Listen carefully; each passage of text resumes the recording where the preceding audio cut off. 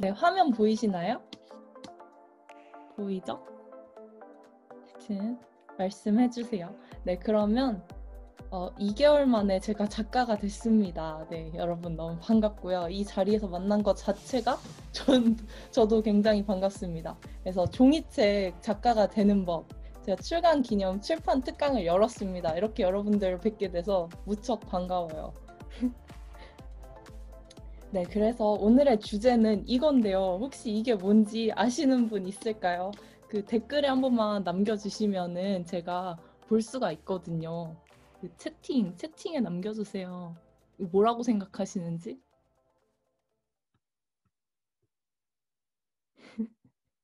어, 뒤집게, 뒤집게.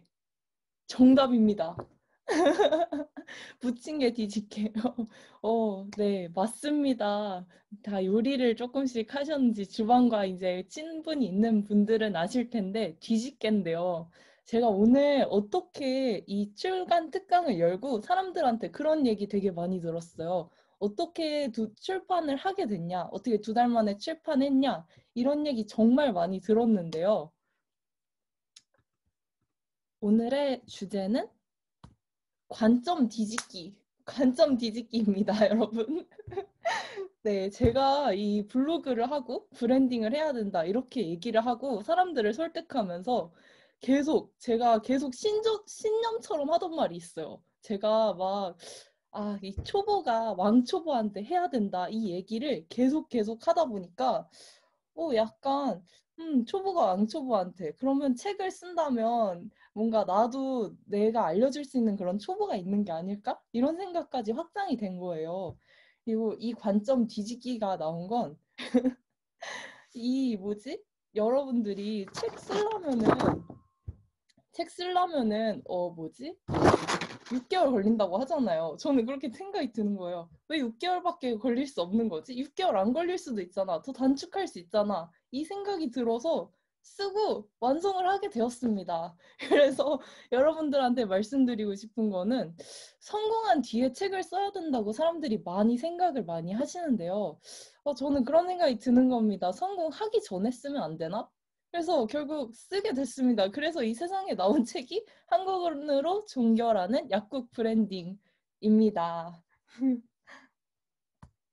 네, 여튼 오늘 제가 이 여러분들의 아까도 말씀드렸지만 일요일 밤 이거 얼마나 쉬고 싶은 시간입니까? 여튼지간에 한 시간을 빌렸으니까 정말 유익한 꿀팁만 쏙쏙 전달 드리도록 하겠습니다. 이 책 어쩌다 쓰게 됐냐고 굉장히 많이 얘기를 많이 들었는데요. 사실은 그냥 써야 될 것 같아서 썼습니다. 네, 주변에 책 쓴 사람들한테 다 물어보잖아요. 어, 책 어쩌다가 쓰게 됐어요? 이렇게 물어보면 공통적으로 다들 어, 약간 써야 될 때가 온 것 같아. 막 이렇게 얘기를 말씀을 많이 하시더라고요. 제가 이 책을 쓰고 나니까 그 말이 뭔지 정말 저도 폭풍 공감을 하고 저도 뭔가 써야 될 것 같아서 썼거든요. 그 사실 제가 약간 이런 사업 이런 어떻게 보면 작은 사업을 창조적으로 해나가면서 어 약간 촉이 좀 좋아졌어요. 촉이 좋아져서 이 그때그때 느껴지는 촉에 의해서 이렇게 행동을 하고 그 실행을 하고 이제 또 수습을 하고 이러면서 일이 진행이 많이 되는데요. 제 촉이 책을 써야 된다고 써야 될 때라고 얘기를 했습니다. 이 책 이야기를 하기 전에 그 브랜딩이랑 마케팅에 대해서 살짝 말씀을 드리자면 이 제가 뭐 하는 활동 알리고 이런 것들은 마케팅의 영역이고 브랜딩은 뭔가 홍보랑은 다른 철학이라고 생각을 해요, 저는. 그리고 이 책 쓰기는 마케팅보다는 브랜딩 쪽에 조금 더 가깝지 않은가? 라는 생각이 듭니다.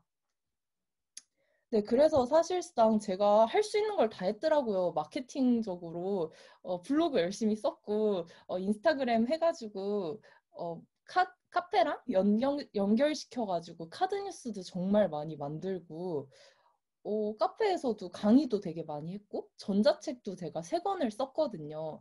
그래서 그러다 보니까 1년에 할 수 있는 모든 그런 마케팅 활동은 충족을 했고 뭔가 내 자신을 한 단계 업그레이드 시키고 싶다. 그때 생각난 것이 아 그러면 책을 한번 써보는 게 어때? 라고 제가 아빠랑 밥을 먹다가 아빠가 그럼 책 쓸 때가 된 거 아니야? 그래서 어 그래 한번 써봐야겠다 이렇게 생각이 든 겁니다. 그래서 썼습니다. 그래서 사실 책 쓰고 나면은 장점이 조금 많은 것 같아요. 그냥 일반적으로 생각했을 땐 그냥 책 쓰면은 책이 팔리는 거 아니야? 까지만 생각을 했는데 요즘은 생각해보면 책 쓰고 나면 저를 소개하는 또 다른 명함이 생기더라고요. 실제로 출판사에서 명함을 파주시기도 했고, 저는 이제 작가로서의 타이틀이 하나 생기기 때문에 어디 갈 때도 제 몸값도 높아질 수 있고, 뭔가 소개할 때 저는 처, 저자, 작가 이런 식으로 저를 소개할 수가 있게 되었습니다. 네, 그래서 간단하게 오늘 어, 약간 급하게 신청해주신 분들은 어, 쟤 누구야? 이렇게 생각하실 수도 있을 것 같아서 간단하게 자, 자기소개를 하도록 하겠습니다. 저는 어, 약사고요. 어, 이제 3년차 약사가 됐습니다.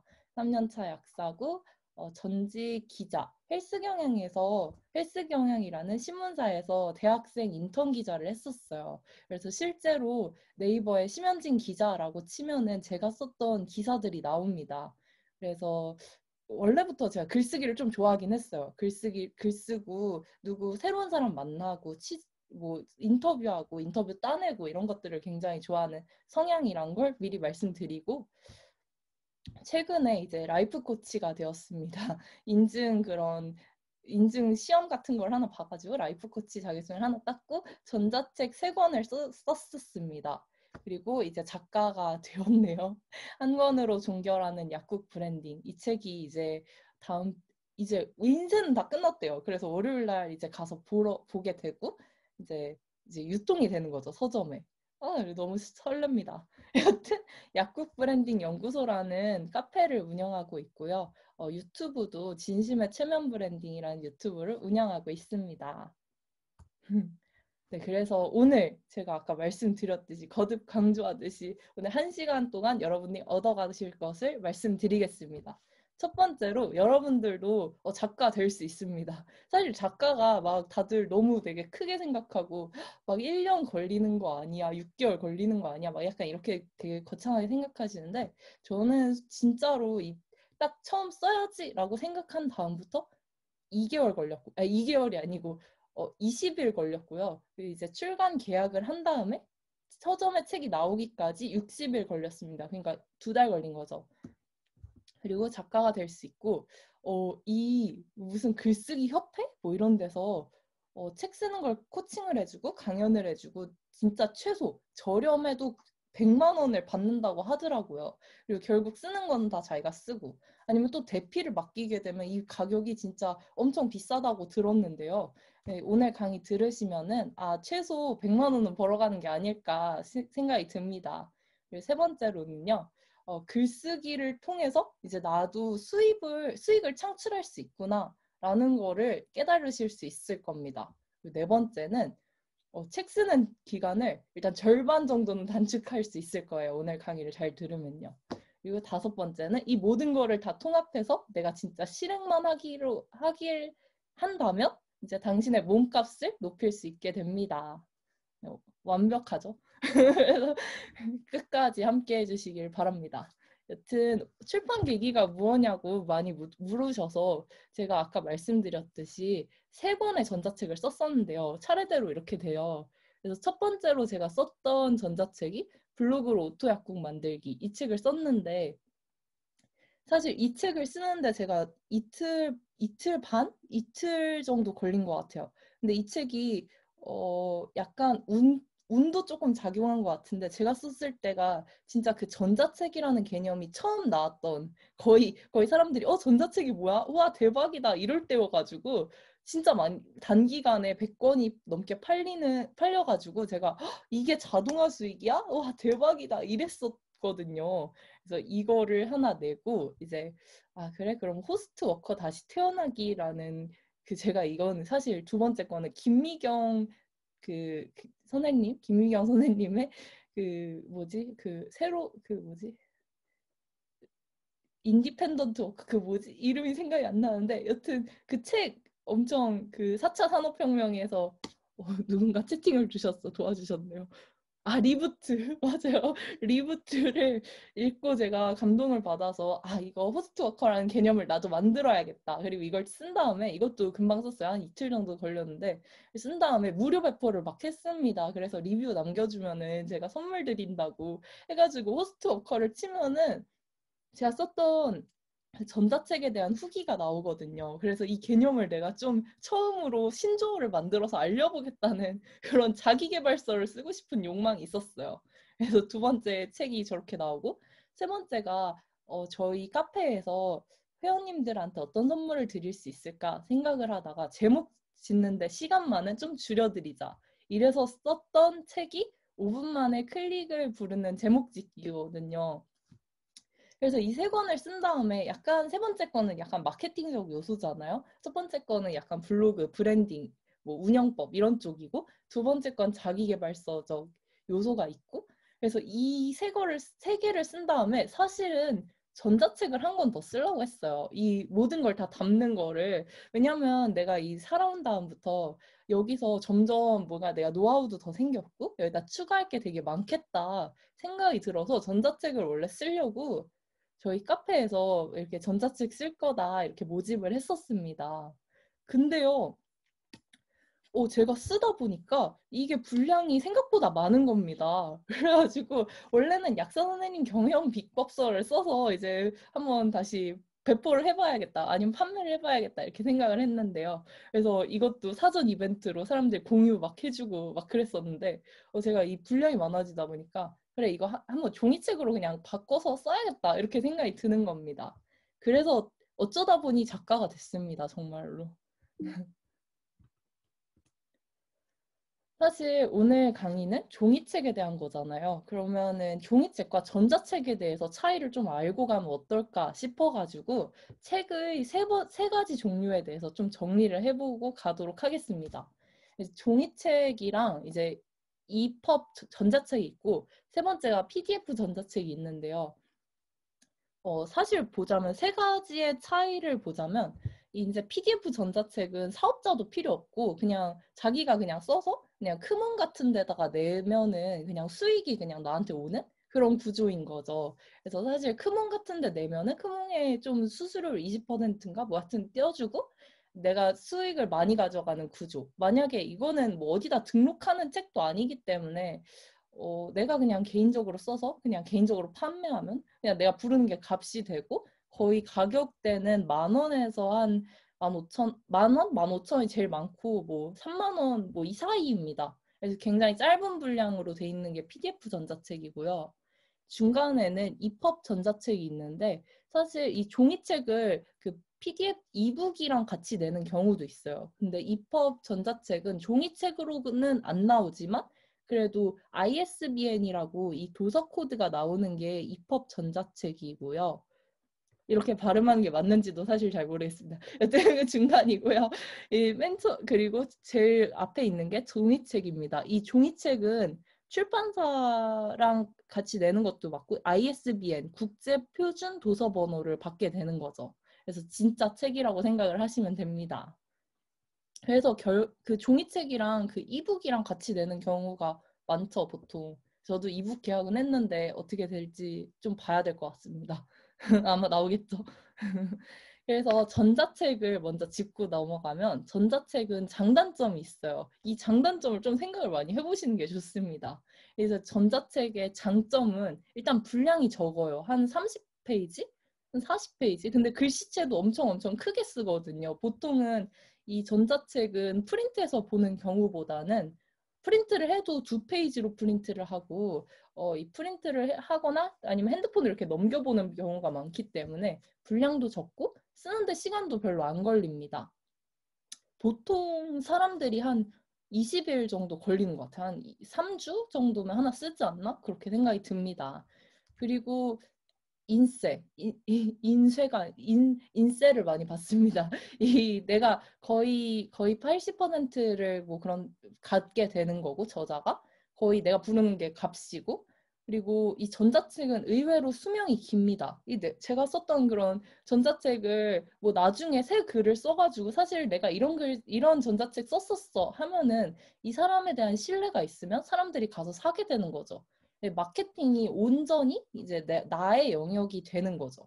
직접 내가 마케팅도 해야 되고 예를 들어서 출판사를 끼고 하면 출판사가 대신해서 뭔가 제작을 해준다던가 마케팅을 해준다던가 이런 게 있을 텐데 그냥 작가가 다 자기 글 그러니까 전자책만 하나 내면 당연히 잘 안 팔리고 전자책 내고 그 뒤에 아, 내가 이런 관심 분야가 있어서 어, 이런 해결책을 냈어. 근데 사실 나 전자책도 썼다? 한번 볼래? 약간 이런 식으로. 그럼 사람들이 그 링크를 타고 가서 그 전자책을 구매하고 싶어서 이제 전송에 뭐저 받고 싶습니다 이러면은 이제 전달을 받고 리뷰 쌓아가지고 어 내가 전자책을 냈는데 이런 리뷰가 달렸어요. 근데 사람들이 참 좋다고 하네요. 이사 이것도 한번 보실래요? 이렇게 또 글을 쓰면 사람들이 어 좋네요 하고 가서 사는 거죠.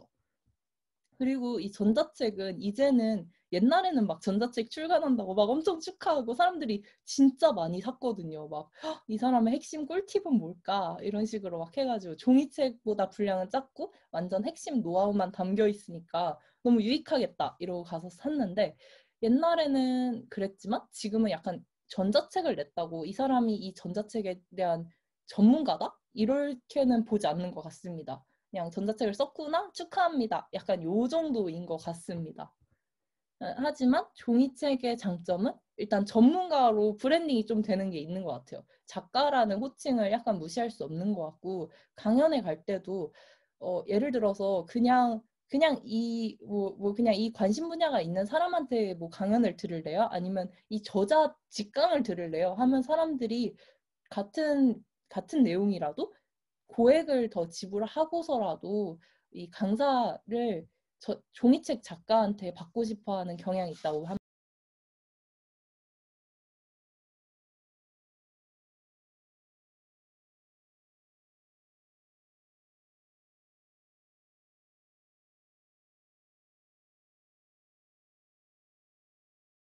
그리고 이 내 몸값을 업그레이드 할 수가 있어요. 그냥 그냥 제가 종이책 쓰는 특강 하, 합시다. 이거보다 저자가 이런 철학과 노하우를 가지고 있고 이거를 통해서 어떤 프로젝트를 운영하고 어떤 강의를 하고 했을 때 그 네임밸류가 생긴다고 보시면 돼요 한마디로.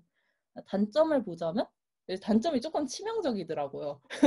분량이 일단 많습니다. 에이, 저는 맨 처음에 이게 거짓말인 줄 알았어요.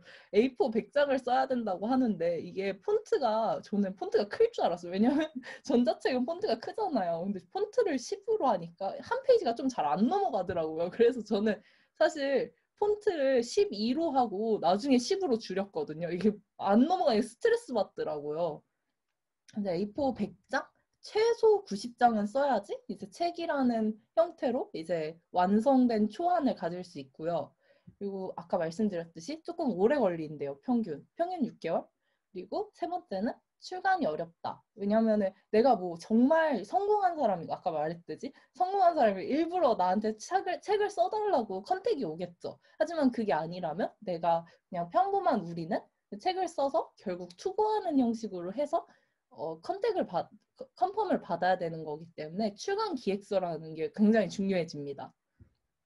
네 번째는 인세로 돈을 벌기 어렵습니다. 이제 그 작가 됐다 하면 사람들이 인세 진짜 많이 받는 거 아니야? 이렇게 생각을 하는데 인세는 평균 5에서 한 10, 아니, 7에서 10%? 그래서 초보 작가? 첫, 첫 작은 거의 10% 받는다 하면 제일 많이 받는다라고 생각을 하시면 됩니다. 네, 여기까지 괜찮으신가요? 그래서 제가 아까 말씀드렸던 게 오늘의 주제가 어, 뒤집개 아닙니까? 뒤집개, 전, 전 뒤집는 거. 그래서 제가 이 단점을 한번 뒤집는 걸로 한번 생각을 해봤어요. 그래서 이제 우리의 그런 관점 상에서 이 단점이 단점이 아닐 수 있잖아요. 단점 중에서도 내가 어떻게 행동해서 바꿀 수 있는 것도 있을 거고 없는 것도 있을 거 아니에요. 이 단점이 그냥 픽스돼 있어서 제가 이렇게 나눠봤습니다.